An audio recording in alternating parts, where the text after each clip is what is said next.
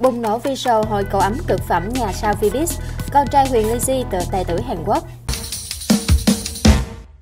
Con trai 6 tuổi nhà Huyền Lizzy Con trai cưng nhà Huyền Lizzy thường được gọi với biệt danh Nem, được nhiều người khen ngợi là nam thần chính hiệu bởi sở hữu nhan sắc không thể nào chê. Đôi mắt to tròn, nước da trắng và gương mặt bầu bĩnh của cậu bé khiến ai cũng phải trầm trồ vì quá đẹp trai. Mới 6 tuổi nhưng Nem được đánh giá là sở hữu trên trội từ người mẹ xinh đẹp của mình. Chỉ với những hình ảnh đời thường được Huyền Lizzy đăng tải trên trang cá nhân, Nem đã nhận được bảo tim từ cư dân mạng.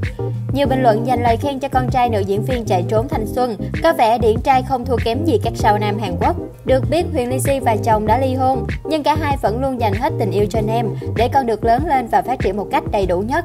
Nem còn là một em bé ngoan, rất hiểu chuyện, nên Huyền Lizzy lúc nào cũng tự hào về con.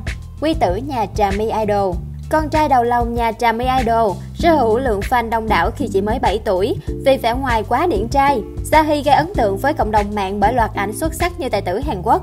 Mỗi khi được mẹ đăng tải hình ảnh, Sahi lại được dịp khiến mọi người thích thú không ngừng, khoe nhan sắc cực phẩm của mình. Cậu bé thừa hưởng nét đẹp từ mẹ với sống mũi cao, đôi mắt to tròn và gương mặt thanh thoát.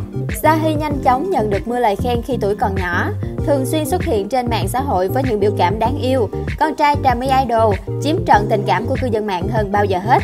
Trà My Idol chia sẻ, sahi vốn là một đứa bé hiếu động, thích những trò chơi vận động hơn là ngồi yên một chỗ. Ngoài ra, cậu bé còn là người sống rất tình cảm. Mỗi lần làm sai khiến bố mẹ buồn, sahi đều chủ động xin lỗi và nói những lời yêu thương dành cho bố mẹ. Con trai Lệ Quyên không chỉ nổi tiếng là Alpha Kid khi theo học tại trường quốc tế đắt đỏ, Kỳ Anh sinh năm 2011 cũng là một trong những cậu ấm nhà sao Vbiz, sở hữu nhan sắc điểm 10 với gương mặt thanh tú, khuôn miệng chúm chím vạn người mê. Mỗi khi hình ảnh Kỳ Anh xuất hiện trên mạng xã hội, đều nhận được rất nhiều lời khen bởi phong cách ăn mặc sanh điệu. Kỳ Anh sở hữu chiều cao đáng mơ ước, dù còn nhỏ nhưng đã cao ngang vai mẹ. Được biết, cậu bé có tính cách giống với Lệ Quyên, vừa ngoan ngoãn mềm mỏng nhưng cũng có lúc rất ương bướng. Đặc biệt, cậu còn là một người sống biết tự lập hơn so với những bạn cùng trang lứa. Kỳ Anh hiện đang sống chung với bố là doanh nhân Đức Huy, nhưng vẫn nhận được sự dạy dỗ sát sao từ mẹ.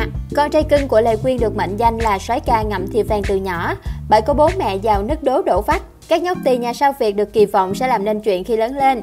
Với vẻ ngoài đặc điểm 10 tuyệt đối, các nam thần nhí có thể gia nhập vào showbiz giống ba mẹ. Còn bạn, bạn có cảm nhận gì về các nhóc trên? Để lại bình luận bên dưới cho tụi mình biết nhé!